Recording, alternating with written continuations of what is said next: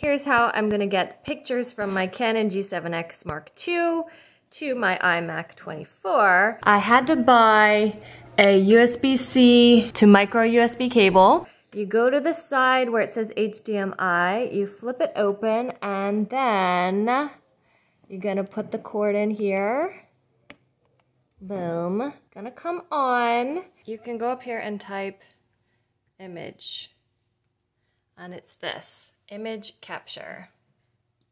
You'll see your camera over here. Boom. And then you can click on one or you can do select all. Down here, you wanna select where you're gonna import them to. I like them to go to my hard drive, photos, and you can select the folder. All right, and then you can also have it so that it deletes them from your camera after they're downloaded. If you like to do that or not, it's up to you. So easy now.